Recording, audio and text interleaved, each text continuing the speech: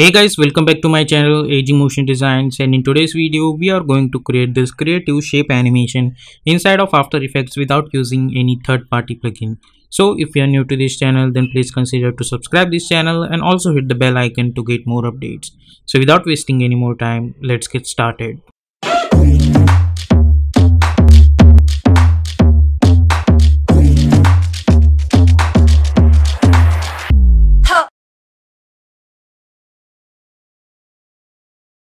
So here we are in adobe after effects. Let's create a new composition and i'll call it as main animation. And width is 1920 height is 180 frame rate i'm going to choose 30 second long.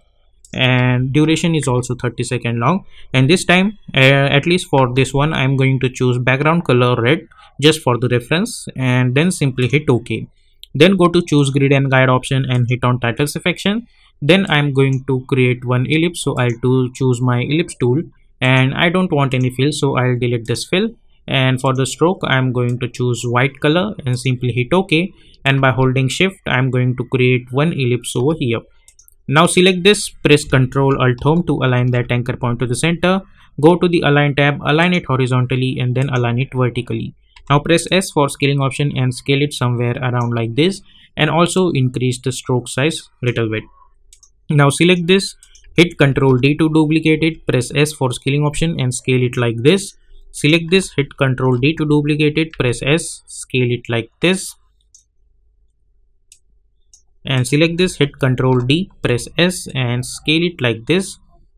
Okay so our scaling things is done now let's create another copy and hit ctrl d and press s and again scale it like this.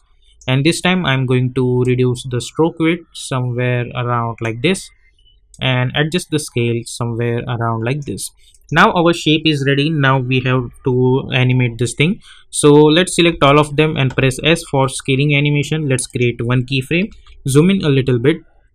Go to around let's say 20 seconds and like this we will start with this one. I'll scale it down. Then i'll select this one and i'll scale it down like this. Then I'll select this one. I'll scale it down up to this. I'll select this one. I'll scale it down up to this. Then I'll select this one and I'll scale it down up to this. Okay? So we will get something like this. Now let's go to 1.10 frames. And we, what we are gonna do we will copy first keyframe. So hit ctrl c ctrl v ctrl c control v. So you can copy the first keyframe like this. Okay? Like that. Now select all of them and press R for rotation and convert these layers into 3D and we will create one keyframe at Y rotation. And hit U so we can see those keyframes. Make sure that your Y rotation keyframe should be here like this. And let's go to around 2 seconds. And we will make this rotation 180 like this. Okay so if you see this now we will get something like this. Okay now at this point what i'm gonna do i'll select this key scaling keyframe. I'll hit ctrl c ctrl v and i'll do this procedure for all of them. Like this. Like this. Okay so you if you see this animation you will get this then this then after 10 frame forwards what we are going to do i'll copy the first keyframe of scaling.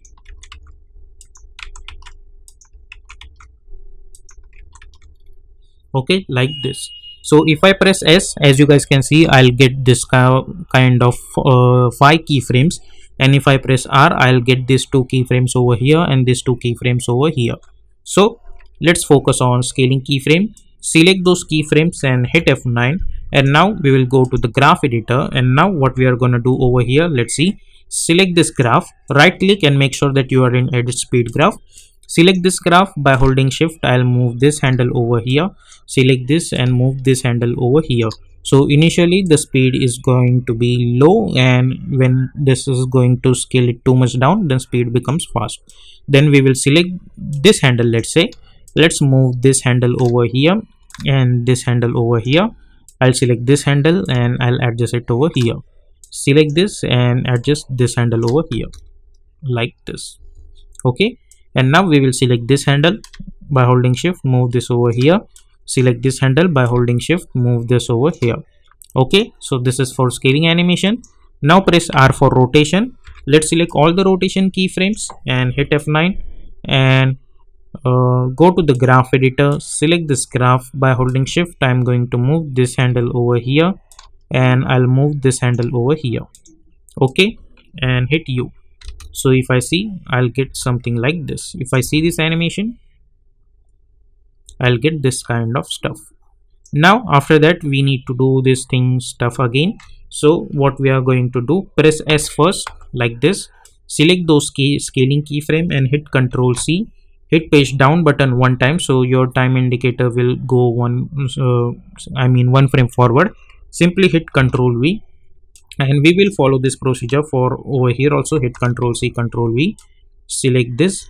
Hit ctrl c ctrl v select this. Hit ctrl c ctrl v select this. Hit ctrl c ctrl v. Okay? Now hit u so we can select all of them and hit u so we can see the rotation keyframes also. Now as you guys that know that rotation is going to start from this keyframe which is uh, for second keyframe. So in this case our rotation st should start from this keyframe. So i'll create one keyframe at rotation over here then go over here and now in this one i am going to make it 360 rotation now press R for rotation again and we will select this rotation keyframes and we will hit F9. We will go to the graph editor and we will adjust this rotation graph just like this. This one should be over here and this one should be over here. So if you see we will get this kind of animation. So if I hit U I mean and play I'll get this animation first then I'll get this animation first so this is how i'll get this animations. Now we want this uh, entire animation in the form of loop. So for that what we are need to do then it we need to create one keyframe at the start of each and every one. So i'll create one keyframe at the start of rotation. Then at last as you guys can see we don't have last keyframe for rotation. So again at last we will create one keyframe for rotation. Okay? And now uh, all you need to do simply alt on over here and type loop out expression on it. Simply copy that loop out expression by holding alt. I'll press ctrl v ctrl v ctrl v. Alt click and press ctrl v to paste that loop out expression to everyone. Like this. So after uh, this one this should start to animate like a first one. Now this is for the animation stuff but what we need over here we need to change the color of this one uh, at this flip. So for that what we can do over here i'll simply select but before that one thing is remaining. I'll select this last uh, not last one but this one over here. And this one should be my outward. So i'll change the color of this one to yellow and i'll bring this downwards. And i'll hit control d and i'll select the sixth layer and i'll change the color to someone else like pitch let's select this. I'll delete this stroke over here. And i'm going to choose fill. And for the fill i'm going to choose black color. So along with this this one should also start to animate. Okay now hit u. Now uh, at this point we need to change the color of each one and everyone. So for that what we can do let's see. Uh, either you can do one thing. You can simply select any one of them like this let's say uh, let's go to the effect and presets panel and you can either apply tint effect. So you can swap this or uh, instead of that what we can do over here instead of uh, adding uh, i mean changing the stroke color each and every one what you can do simply go to the effect and presets panel and apply fill effect on it. Let's say apply fill effect select this effect uh, and choose white color. Select this fill hit ctrl c to copy select all of them and hit Control V to paste that. And select the last one hit Control V also and choose black color. Okay? Now I'll select this one uh, hit U. Let's go over here. Not properly at this point but just before this keyframe. And we will create one keyframe at fill color. Now select this layer. Create one keyframe at fill color. Select this. Create one keyframe select this layer create one keyframe. Select this layer create one keyframe. Select this layer create one keyframe. Select this layer and create one keyframe. Okay? And hit u so you can see those fill uh, color effect also. Now hit page down button one times and now change this color to black. Now we will do this thing for all of them. So as you guys can see uh, we are getting this shift in color for each and every one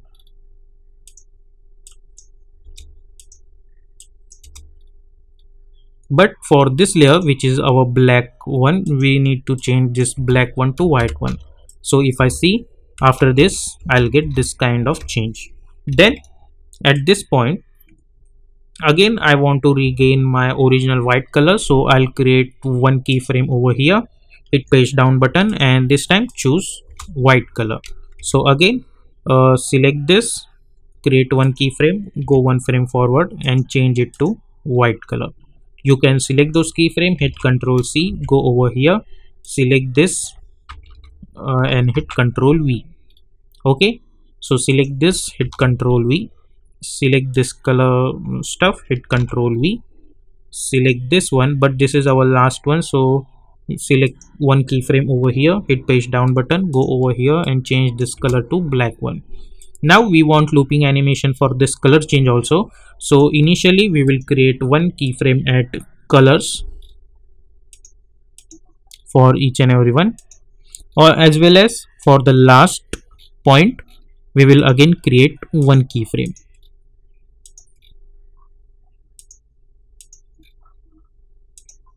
Okay?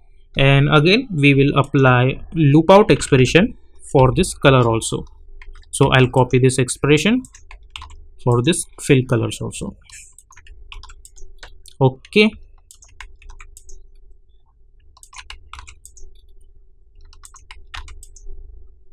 Okay so now even after that i'll get this kind of shift in colors. Now simply hit u so you can see only those keyframes. Now we will select all the keyframes including rotation and by holding alt I am going to change the duration of this one to 4 seconds only. So I'll get something like this.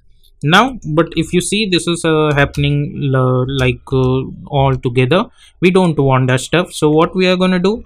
We will hit page down button two times let's say. I'll select this second one or let's say this one. Uh, we need to adjust it to uh, according to the order like a small one should be first. So let's select the small one and bring this at the top let's hide this. Then we will select this one not this one. Yeah this one should be over here. Let's hide this. Then this one. This one should be over here. Let's hide this. Then this one is right. This one is right. And this one is right. Okay so our order is now proper. Like one two three four five six. Yeah. Okay now zoom in a little bit. Hit page down button two times. Select the second one. Move this over here. Again two times page down button. Move this over here. Move this over here. Page down button two times. Select those last or two of them and let's move them over here. And now go to the start. Select all of them. By holding alt i'll move them over here. Or uh, you don't need to do that also. If you hit play now you will get something like this which is uh, quite weird. So what you can do simply select this flare first press ctrl shift c and let's call uh, we don't need to name that simply hit ok. Select this hit press ctrl shift c and hit ok. Select this press ctrl shift c hit ok. Select this ctrl shift c ok. Select both of them press ctrl shift c and ok. Now let's go inside this. And as you guys can see this is going to start from here. So we need to go to the main animation from here. Now select all of them hold alt open bracket to trim it out. Go to the start and let's move this over here. So now if you hit play we will get something like this. So you will get this animation continuously like this. Now press select all of them press ctrl shift c and i'll name it as let's say animation maybe. And hit ok double click to open this press ctrl k uh, and let's lock aspect ratio. Let's unclick and let's make it 1080 only. Like this right click new and create one null object. Select all of them and make it parent with this null one. Okay select this null press s and scale it a little bit like this.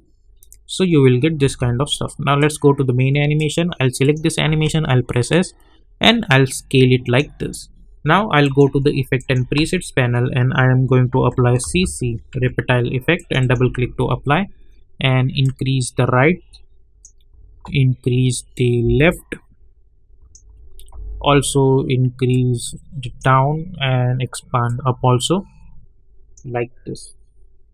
Okay and in repeat you can choose either random like this or you can choose brick also so you will get this kind of variation. Okay? And then press ctrl y to create one solid background and let's move this backward like this. Okay? So this is how you can create this kind of shape animation inside of after effects. Uh, you can do this procedure also or otherwise this one also looks nicer. So it's totally up to you. So this is how you can do creative you know uh, stuff animation inside of after effects and after all of that you can select this. Let's increase this left a little bit. And uh, you can apply drop shadow effect on it. And you can increase the softness like this and change the brightness to 20 like this. So yep that's it for today's video. We will see you in my next video.